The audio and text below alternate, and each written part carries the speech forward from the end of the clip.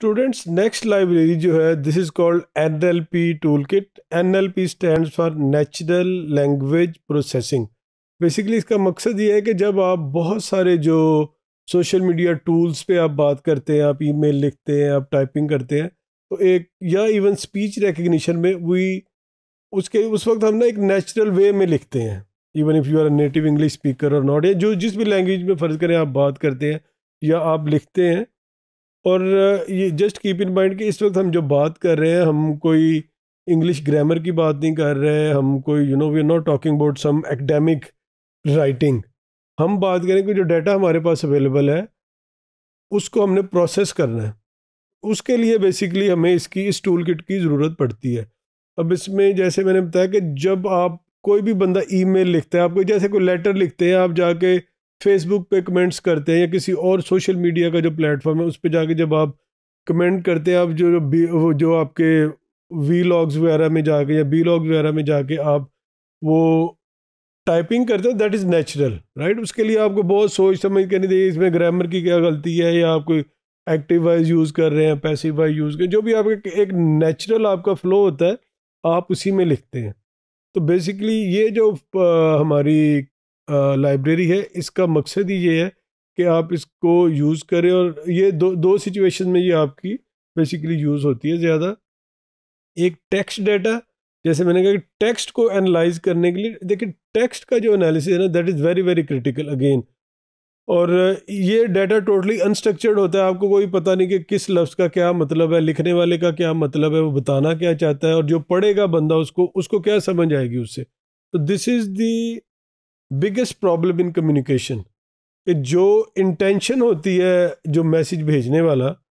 और जो उस मैसेज को पढ़ने वाला, उसकी जो अंडरस्टैंडिंग है, उसकी these two things can be totally different और आजकल ये जो डिफरेंट सिचुएशंस होती है हमारे पास, इसमें जो social media is being used by everyone right बहुत सारे ऐसे लोग भी यूज़ करते हैं जो कि नेगेटिव सोशल एक्टिविटीज़ में इन्वॉल्व होते हैं which can be you know risk for your society और बहुत सारे लोग हैं जो अच्छे काम भी करते हैं बहुत सारे डिफरेंट अपने अपने जो भी उनका सोशल सेटअप है, उसके अंदर लोग रह के उसके अंदर अपना डिफरेंट सोशल मीडिया को यूज़ करते हैं। इसके अंदर एक दो बड़े इंपॉर्टेंट जो सब्जेक्ट्स हैं one is called psychometric analysis कि जो बंदा वो लिख रहा है, जो भी टाइप कर रहा है या वो बोल रहा है, दोनों तरह से इसका ये तकरीबन सिमिलर तरीके से इसको आप एनालाइज करते हैं। तो उसका जो what he really wanted to do what he really wanted to achieve वो किसी को क्या मैसेज दे रहा, हो सकता है कुछ मैसेजेस आपके कोड भी हो सकते हैं, कि किसी कोई कोड उन्होंने अपने यूज़ किए हों। तो इसलिए उसका जो साइकोमेट्रिक एनालिसिस है, उस डेटा का वो बड़ा ही ज़रूरी होता है। और वो ये अब आपका नॉट ओनली इन दिस बल्कि कॉल सेंटर की परफॉर्मेंस में भी ये इस तरह की चीज़ें यूज़ होती हैं अब, कि उनके पास डिफरेंट इसके सोल्यूशन अवेलेबल हैं, कि आप उसको जो वॉइस रिकग्निशन से वो डाटा को कन्वर्ट करते हैं टेक्स्ट में, फिर उसके ऊपर एनालिसिस परफॉर्म करते हैं। इसी तरह जो आपका अनस्ट्रक्चर डाटा है, उसके ऊपर भी हम इसको यूज़ करते हैं natural language processing tool kit को। अच्छा इसके लिए अब जो डिफरेंट इसके फीचर जैसे मैंने बताया कि लर्निंग के लिए हम इसको यूज़ करते हैं। We want to learn about किसी ने क्या लिखा है, किसी ने क्या बोला उसको हमने लर्न करना फिर हमने उसको अंडरस्टैंड करना है। क्योंकि आपने एक चीज़ को पढ़ लिया आपने फ़र्ज़ करें वहाँ पे लिखा हुआ है ब्यूटीफुल या लिखा फ्लावर लिखा हुआ है। तो अब आपने उससे क्या समझ समझना क्या है आपने? राइट आप तो पहले स्टेप पे आपने देखा कि क्या लिखा है। आपने उस, फिर आपने उसको अंडरस्टैंड करना ताकि आप आप या जो भी मैसेज का रिसीवर है, उसको ये समझ आ सके। या आपका सिस्टम है basically as a data scientist जिसने उसके ऊपर एनालिसिस परफॉर्म करना फिर उसके बाद जो कंटेंट क्या आपका जो पूरा कंटेंट है, वो क्या था? फिर आपने उसको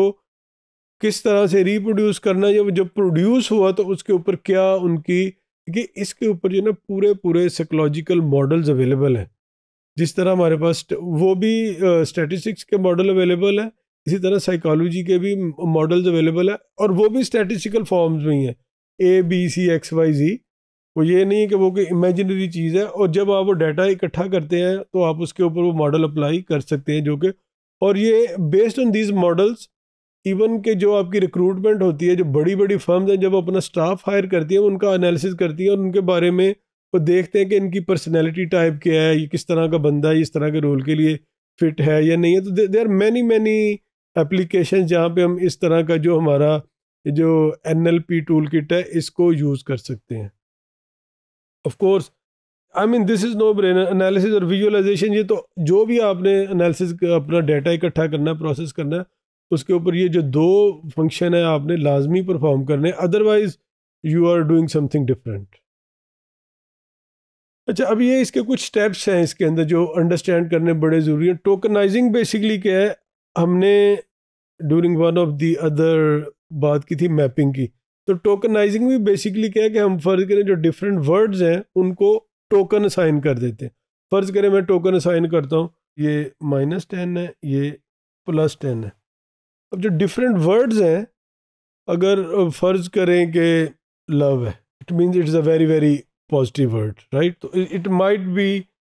somewhere here के इसका नंबर प्लस सेवन आएगा, इसका जो टोकन है या इसकी जो रैंकिंग है वो प्लस सेवन है। लेकिन अगर हेट है it might be somewhere here ठीक है? कुछ लफ्ज़ हैं, फ़र्ज़ करो, एक वर्ड है गोइंग या गो या गोइंग इसका कोई मतलब नहीं या ये ना इससे पता चलता, ये नेगेटिव है, ना इससे पता चलता, ये पॉजिटिव है। इट कैन बी हेयर तो इस तरह आप उससे बेसिकली उसको टोकनाइजिंग करते हैं, फिर आप देखते हैं कि ये जो आपने फिर वर्ड्स को फ़िल्टर करना है, आपने देखना है उनसे आपका रिज़ल्ट क्या निकलता है। फिर आपने उसको जो डिफरेंट आपकी जो स्पीच है, या जो टेक्स्ट है, उसके जो डिफरेंट पार्ट्स हैं, उसमें फिर आप उनको सर्च करते हैं, देखते हैं then you relate them with each other अगर शुरू में किसी ने क्या लिखा है in the first part of the content और सेकंड में और एंड में तो इससे सारी चीज़ें वो जब आप उनको, जो वर्ड्स हैं डिफरेंट उनको आप वो एनालाइज करते हैं कोरिलेट करते हैं, उसकी बेस पे फिर आप अपना डिसीज़न या आप अपना एक ओपिनियन कायम करते हैं using some of the psychological model फिर आप कहते हैं ये जिस बंदे ने जो कमेंट्स लिखे हैं, इसके कमेंट्स जो है देर रिस्की सपोज़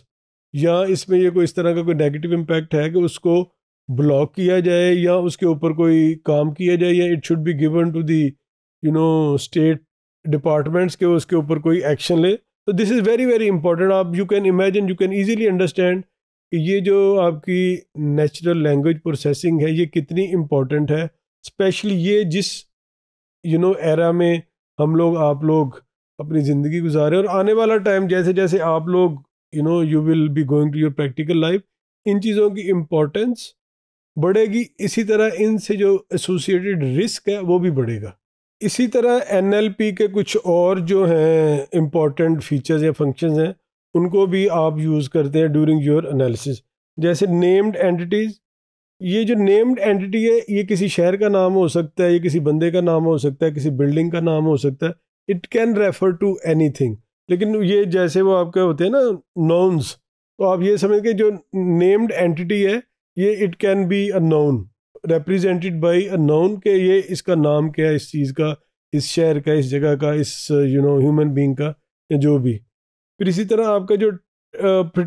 जब आपने ये ये एनालाइज कर लिया डिटर्मिन कर लिया, फिर आपने वो टेक्स्ट को जो एनालाइज करना, जब हमने जो पिछली स्लाइड में टोकनाइजेशन की बात की, उनको वेटेज देने की बात की, कि वो नेगेटिव है पॉजिटिव है न्यूट्रल है, या कितना नेगेटिव है, कितना पॉजिटिव है न्यूट्रल इज़ न्यूट्रल तो इसकी बेस पे फिर आप वो जो टेक्स्ट को एनालाइज करते हैं, आप टोकनाइजेशन को यूज़ करते हैं, जो बाकी फीचर हमने डिस्कस किए, उनको यूज़ करते हैं, वो कितनी दफ़ा रिपीट होता है, उसका लिंक क्या है एक दूसरे से बेस्ड ऑन दैट फिर हम, आप ये एक दिस इज़ इंपॉर्टेंट वो ये भी ठीक है अपनी जगह पर लेकिन जो डिस्पर्शन प्लॉट करते हैं, कि ये जो पूरा आपका एक टेक्स्ट का जो मैसेज है, एक कन्वर्सेशन है उसकी बेस पे यू कैन डिटर्मिन के वो जो कन्वर्सेशन है किस तरफ़ जा रही है, कि सारी की सारी कन्वर्सेशन क्या ये न्यूट्रल है, ये किसी ख़ास इवेंट से, किसी एक ख़ास जगह से रिलेटेड है, या this is just for the sake of discussion या कोई फेस्टिव सीज़न है।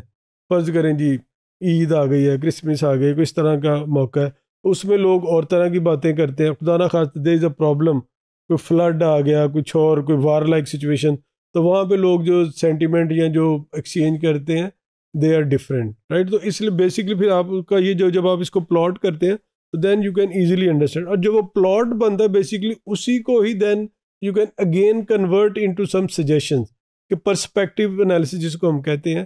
कि ये आपने एक चीज़ फोरकास्ट की जस्ट वो जो हमारे पास डिफरेंट टाइप्स थे ना इसके एनालिसिस के, कि आपके पास जैसे दूसरा डाटा आता है, उसी तरह ही आपके पास टेक्स्ट डाटा आया, आपने उसको प्रोसेस किया, आपने उसको प्लॉट किया एंड बेस्ड ऑन दैट अब आपको यू नो वो फिर आप उसके साथ एक statistical model based on psychological variables वो प्लॉट करेंगे। और फिर वो आपको बताएगा कि ये चीज़ जो है किस तरफ़ जा रही है। So you will forecast something right और जब वो फोरकास्ट आपको नज़र आएगी, उसी की बेस पे यूजिंग सम प्रिवेंटिव मैयर्स आप उस चीज़ को रोक सकते हैं फैसिलिटेट कर सकते हैं या कुछ और कर सकते हैं। तो ये पूरा प्रोसेस है जिस तरह आप अपना जो आपका कॉलम एंड रोज या टेबल में डाटा है, उसी तरह आपका जो टेक्स्ट डाटा या अनस्ट्रक्चर डाटा है, उसके ऊपर भी आप अपना एनालिसिस परफॉर्म करके तो जो different starting from descriptive analysis से लेके फिर आप उसका जो फोरकास्टिंग और पर्सपेक्टिव सारी चीज़ें आप उसकी बेस पे कर सकते हैं।